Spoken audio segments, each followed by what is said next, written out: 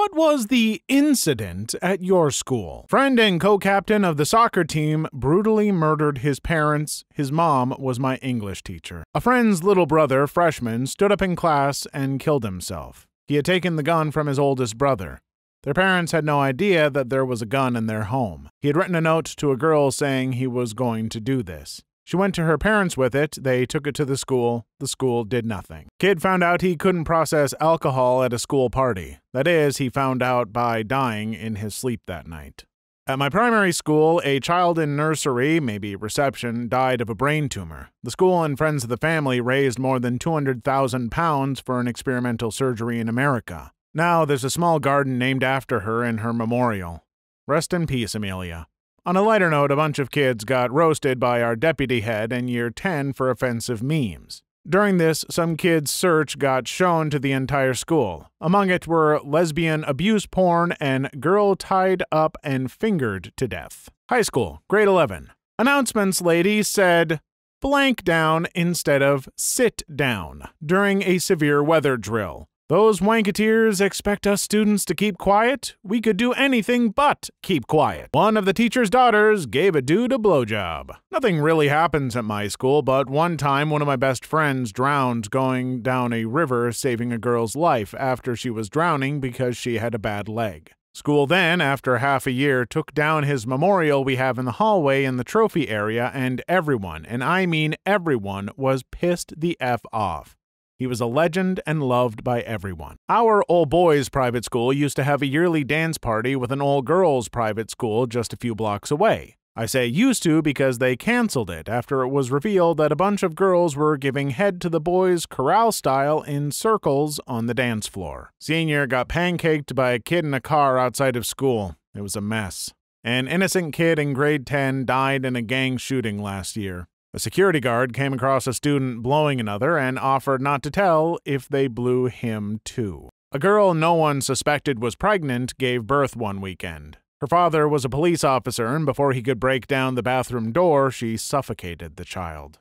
This thread is too dark. Here is my addition. A few kids were having a farting contest in high school, and one of them crapped himself. There was the guy that blanked a goat my senior year. Don't have any of the details, but do you really want to know the details around a guy blanking a goat? Someone clogged the toilet by crapping a brick so wide and solid that it filled the circumference of the toilet hole, like it was as wide as a Boston cream donut and a pure solid. The bloody anus culprit was never found. Teacher was found getting intimate favors from a ninth grade girl who was held back like three times. I went to a school for people with ADHD, autism, and other more severe learning disabilities. A year or so later, another girl claiming S abuse from a teacher who didn't actually do anything. She was just mad because he wouldn't let her keep disrupting class. He got fired and can't teach anywhere, but hey, way to effing go, Skylar. This guy was like 60 something and his whole life was devoted to helping kids. She bragged about it being fake and getting him fired. Everyone told her she was a huge piece of crap. Edit. Her name isn't actually Skylar, obviously, but still, guys, this happened like seven years ago. Maybe cool it with the death wishes. This made national news in 93 94. My freshman year of high school, a pretty unpopular girl got pregnant by her boyfriend. The boyfriend denied it was his and wouldn't have anything to do with her. She told her mother, and the mother flipped out and kicked her out of the house, and she committed self termination. The Spanish language channel was doing a graveside interview with the father on live TV. During the interview, the mother showed up to the grave. That's when the father walked to his car, grabbed his gun, and shot and killed her on live TV. The father ran but was caught trying to get to Mexico, I believe. Going to school was really sad and weird for a while after that. I didn't know her well, but we shared most of our classes together, and that desk that stayed empty the rest of the year was a constant reminder.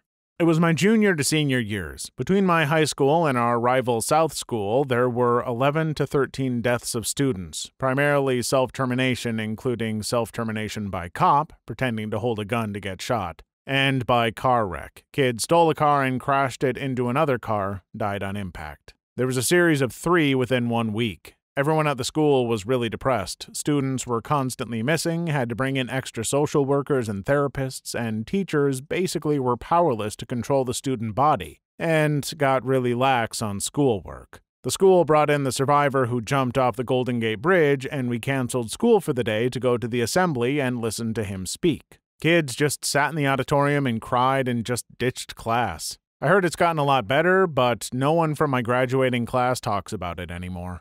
A sophomore in high school was filming up girls' skirts and got caught. It was all over the local news. Someone set fire to the school, which led to us having a longer summer holiday. Legends. FYI, I live in the UK. It seems every school has an arsonist or two. Okay, so this one's a little dark, but anyway, this happened when I was in year 5. I don't know what grade this would be in America, but for reference, I would have been like 11. I remember coming to school and everyone was quiet. I asked what happened, but nobody would tell me. Eventually, one girl in my class let me know. Basically, this teacher who was teaching year 4 at the time was caught trying to meet up with a 14 year old girl for intercourse. They talked online for like a month, and during this time, she repeatedly said she was 14. He also said some pretty effed up crap, like, there's something innocent and fresh about them in regards to young girls, and baby, baby, I just want to hold you and feel your lips on mine. It turned out to be a police sting operation, and he was arrested and given a two year sentence. Fun fact for our Easter parades, he was the one dressed up as the Easter Bunny who would give out Easter eggs. There was no more teachers dressed as Easter bunnies at our parades after him. 1980s in an Australian high school in a country town. Teachers having affairs with teachers and their partners finding out. One partner slash husband chased a teacher that was having an affair with his wife around the school and punched him. Male teacher having affairs with multiple female teachers at the same time and them finding out. Not bad for a school of about 500 students. Who needed drama on TV? We could watch it at school. An explosion. We had an auto shop class to learn about basic work they do on cars and shops.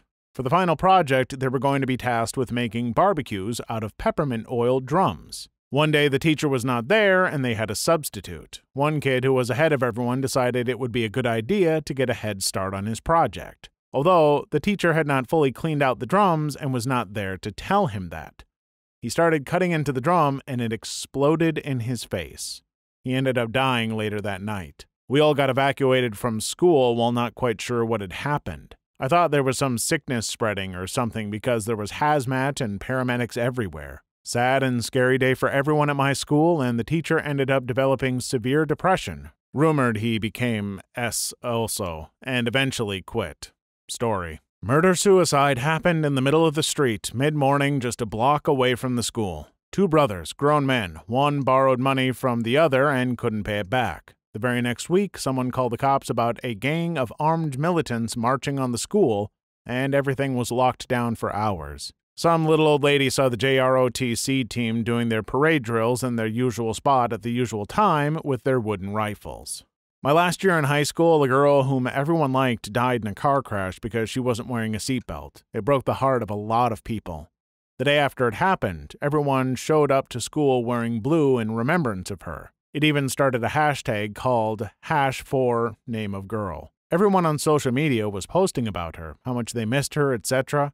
It was truly a sad occurrence, and everyone seemed to be grieving. Obviously, there were people who capitalized on her death for attention, exposure, that sort of thing. Posting selfies with the hashtag, SoundCloud rappers using her name in songs to gain exposure. That same year, a close friend of mine attempted to overdose in the school bathroom. He was the type of kid people made fun of because he was quiet and seemed like a school shooter.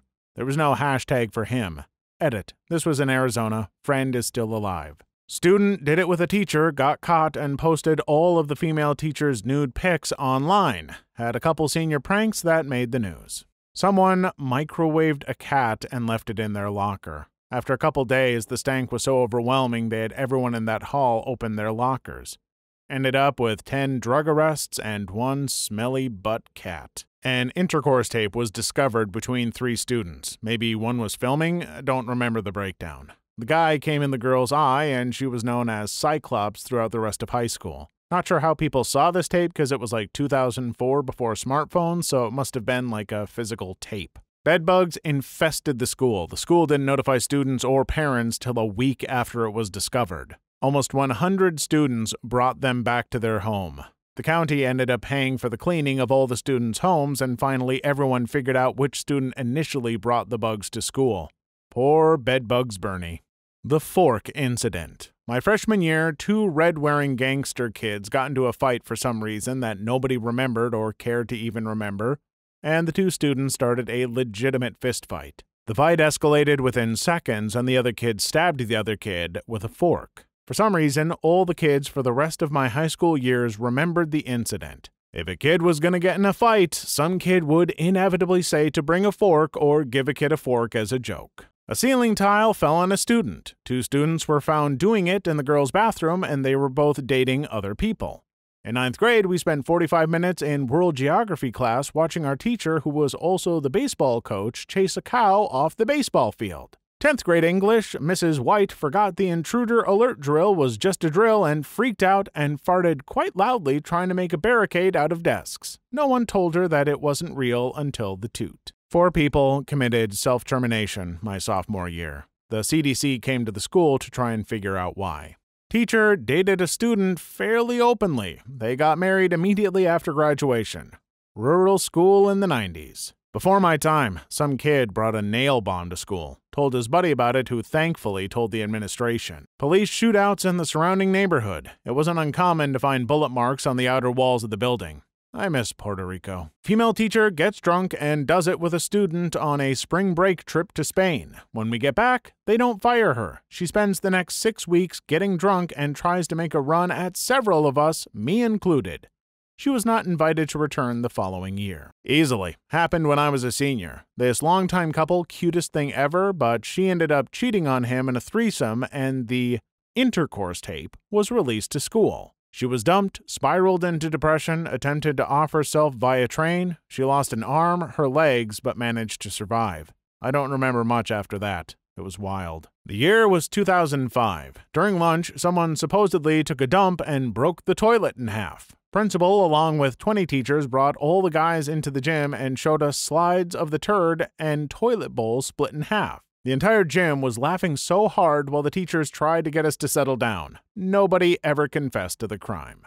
During the school day, someone set fire to the toilet paper rolls in the men's bathroom. For some reason, though, the school was put in lockdown instead of being evacuated. I guess it was because the fire was relatively small and was put out fairly quickly, but it did send my social studies teacher to the hospital since he got hit by a stall door trying to put the blaze out. A guy killed himself. He jumped in front of a train. He was apparently bullied and he might have been gay. He was 15 years old. I knew something was up when I was walking from one school building to the other when a few janitors came together and talked about an accident with the train, which wasn't far away from school. I knew it had something to do with one of the kids, and unfortunately, it was true. I still think about it every time I drive past the spot where he killed himself. It's been 11 years now. 2016 was the year known for a lot of celebrity deaths, right? Well, that spilled over to my school. 2016 was the year when a friend's mom died due to health complications. A friend's dad died, no one knows what happened. My dad died. A kid my entire class knew got cancer. A kid's entire family died in a freak accident. Teacher's mom died. This all happened within a three month period. We couldn't stop going to funerals as a class. It felt like every weekend something horrible happened. Some bozo stuck his entire life savings into a fundraiser. Teacher got fired for posting pictures of attractive underage students on a known pedophile site. The education minister commented on it. A 33 year old mother stole her daughter's identity and came to school for three days to relive her high school days. She even joined the cheerleading squad. Had a couple in junior high. One douchebag kid who was always acting like a butt got beat to a bloody pulp for asking the quiet, weird kid, Why'd your mom kill your dad and not you? Two, during a movie, kid in the back of class whipped out his D and started jerkin'. Girl sitting next to him saw it and told the teacher he never lived it down. Three, transfer student, freshman, bully, scary looking, probably six foot five, 220, picked a fight with a kid half his size but who knew how to fight. Tall bully promptly got his butt beat down. Senior prank when I was a freshman. A group of 10 seniors broke into the school at night, removed the ceiling tiles in the library, and covered a lot of the door handles in peanut butter. There was also apparently a camcorder and some money that was stolen. Anyway, school got shut down for a day so they could clean it all up. We were all the way up in Maine, and the incident was reported on as far away as in Florida. Apparently, the kids made a huge mess of the library tiles, and a ton of them were broken or unusable. The peanut butter was spun as a deliberate attempt to trigger allergy attacks, although I'm pretty sure this was nonsense. The town billed it as a case of vandalism. In retrospect, it was just a prank that got really, really out of hand, and one jerk used it as an opportunity to score a camcorder. My high school had five fires in one year. Three were construction, two were people lighting toilet paper on fire and then throwing it in garbage cans. Almost a year ago, early in the morning, a kid was found hanging in the stairwell.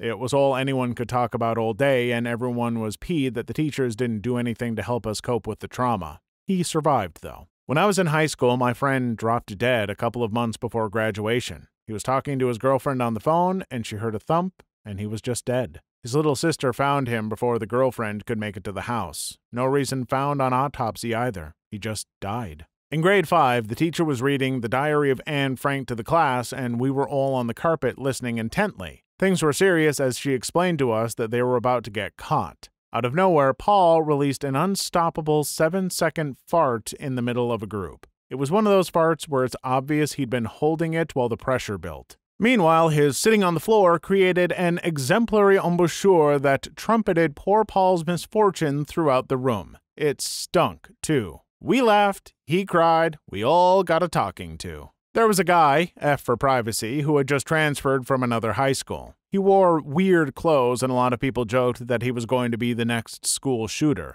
I personally didn't pay much attention and felt that he was a pretty chill dude, just a bit odd. One day, he was asked to make a report for class. I forgot the topic, and I wasn't in the class. He decided to make a PowerPoint about the Second Amendment. Apparently, he specifically asked the teacher if he could do this, and the teacher gave the okay. He made the PowerPoint and accidentally left the flash drive that held it in a school computer. Some students found it and reported it. F tried to explain that he was given permission to do it, but the teacher straight up denied it.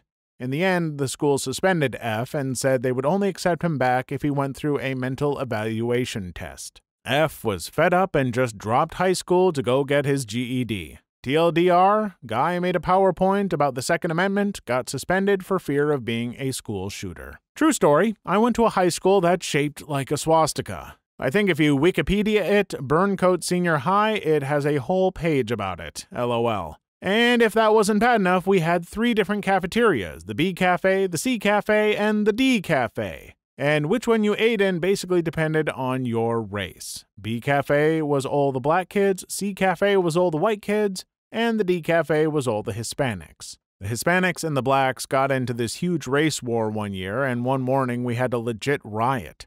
Over the speakers, they announced Code Red, and the teachers ran to lock all the doors, and the kids in the hallways were thrown into random rooms. The school was on lockdown for six hours. The kids were all fighting each other, and eventually the teachers tried to stop them, which turned into kids throwing teachers over desks and fighting them too. We had something like 20 to 30 cop cars show up and they arrested a bunch of kids. The students made a bunch of t shirts that said, I survived Code Red 06. The shirts were not allowed. Pretty terrifying at the time, especially because at first no one knew what was really going on.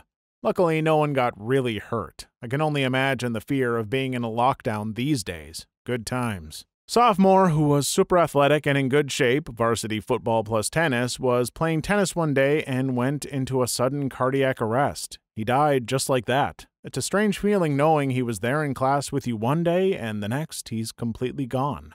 For a senior prank, a group of guys somehow snuck into the school cafeteria during off hours and put pieces of dead deer above the ceiling tiles without anyone catching them. A few days later, students and staff started complaining about an awful smell. It took a few more days before anyone figured to look in the ceiling. Please leave your story in the comments. I would love to make a video on them in the future. Also, don't forget to like and subscribe.